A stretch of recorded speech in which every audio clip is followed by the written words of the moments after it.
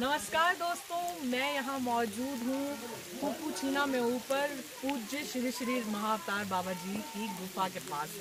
जी हाँ दोस्तों, आप देख सकते हैं बर्फ़ गिर रही है, लेकिन फिर भी यहाँ के श्रद्धालुओं की श्रद्धा जो है बाबा के लिए इतनी है। आप देख सकते हैं हमारे दिव्य प्रेम सेवा मिशन के श्रद्धालु जन यहाँ किस तरह से बाबा के दर्शन हेतु मौजूद है।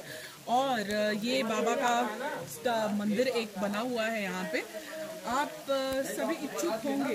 कौन से बाबा की बात कर रहे हैं? हम बात कर रहे हैं महा अवतार बाबा जी की, जिनका वर्णन पूज्य श्री योगानंदा महाराज की किताब, योगी की आत्मकथा ऑटोबायोग्राफी ऑफ़ योगी में मौजूद है। कहा जाता है कि भागवत गीता में जो ज्ञान कृष्ण ने अर्जुन को दिया है, भागवत गीता में वही ज्ञान आप सिमिलर ज्ञान पा सकते हैं क्रिया योग करके। क्रिया योग को वामन योग भी कहा गया है। क्रिया योग से बहुत सारी ऐसी सिद्धियाँ और सेहत आप प्राप्त कर सकते हैं। आइए देखते हैं बाबा जी की केव कहाँ है यहाँ पे। आप देख सकते हैं बहुत ही सुंदर नज़ारा है यहाँ पे। और बिल्कुल भी पल्यूशन नहीं है यहाँ। नाम मात्र साधु। मैं पिछले तीन दिन से यहाँ मौजूद हूँ और यहाँ के वातावरण में मौजूद एनर्जी का आनंद उठा रही हूँ। यहाँ एनवायरनमेंट इतना एनर्जाइज्ड है कि आप सोच भी नहीं सकते। और इसके साथ साथ आप देख रहे हैं बाबा जी की केव का बोर्ड लगा हुआ है यहाँ पे। ऊपर यहाँ बाबा जी की केव है। आइए आपको दिखाती हूँ बाबा जी की बाबा जी के बारे में बहुत सारी बातें हैं। कहा जाता है बाबा जी अभी भी अपने भक्तों को दर्शन देते हैं। बाबा जी ने कई हज़ार वर्षों से अभी भी अपना शरीर नहीं त्यागा है, क्योंकि अनुग्रह किया गया था उनसे कि आप सर्वव्यापी हैं, सर्वमान हैं, सब जगह मौजूद हैं तो आप अपना शरीर ना छोड़ें।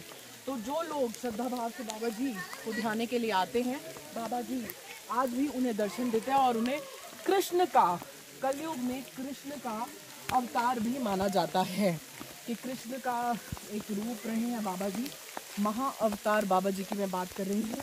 ऑटोबायोग्राफी ऑफ़ योगी को अध्यात्म की एक ऐसी किताब कहा गया है कि इससे आप किसी भी तरह की आध्यात्मिक ऊर्जा प्राप्त कर सकते हैं।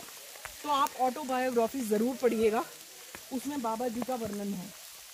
आइए आपको पेड़ लेके जाते हैं। आप देख रहे हैं, यहाँ मौजूद जितने ये पेड़ पौधे हैं, ये सब जड़ी बूटियाँ हैं। और इनकी औषधियाँ बनती हैं और ऐसी ऐसी औषधियाँ होती हैं जिसके लगाने और खाने मात्र से आपकी जो भी परेशानियाँ हैं वो दूर हो जाती हैं। आइए बाबा जी की गुफा की ओर आपको लेके चलते हैं।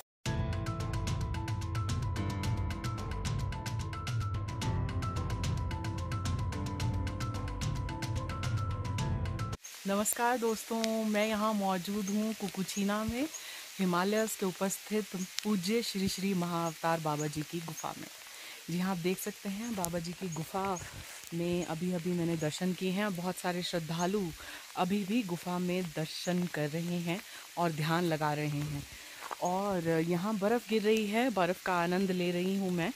और साथ ही में आप देखिए किस तरह से ये जगह जो है वो एनर्जी एनर्जाइज्ड है और आध्यात्मिक ऊर्जा से ओतप्रोत है?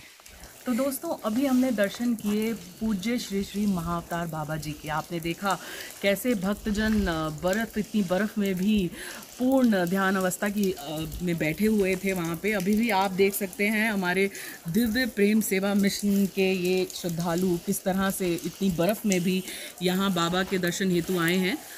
आपकी भेंट यहाँ उपस्थित ख़ास एक दिव्य आत्मा से मैं कराना चाहती हूँ। दिव्य प्रेम सेवा मिशन के संस्थापक श्री आशीष गौतम जी, जो बाबा के परम भक्त हैं और कई वर्षों से यहाँ आ रहे हैं। आइए उनसे एक छोटी सी भेंट करते हैं और पूछते हैं कि बाबा के साथ, बाबा का साथ और ये क्रिया योग जो है, वो कब से इसे अपनाए हैं और कब से फॉलो कर रहे हैं। जब मैं ग्रेजुएशन का विद्यार्थी था तो सन उन्नीस सौ बयासी में पहली बार योगी कथामृत ऑटोबायोग्राफी ऑफ़ योगी किताब पढ़ने को मिली। उस समय से ही महावतार बाबा जी का चित्र देखा और योगी कथामृत में उनके बारे में वर्णन पढ़ा। साथ में लाहिड़ी महाशय के बारे में पढ़ा, परमहंस योगानंद जी के बारे में पढ़ा। बस उसी दिन से उन पर श्रद्धा, आस्था, विश्वास, उनको इष्ट गुरु आराध्य के रूप में स्वीकार कर लिया था। और उसके बाद योग्य संत की, योग्य गुरु की, योग्य क्रिया योगी की खोज में अनेक बार हिमालय की ओर आया। अकेले भी आया, अपने मित्रों के साथ आया, अपने मार्गदर्शकों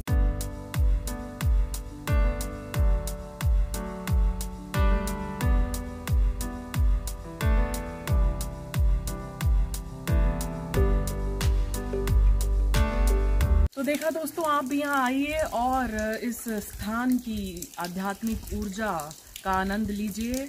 नमस्कार। इन खबर चैनल को सब्सक्राइब करें और बेल आइकन दबाना ना भूलें।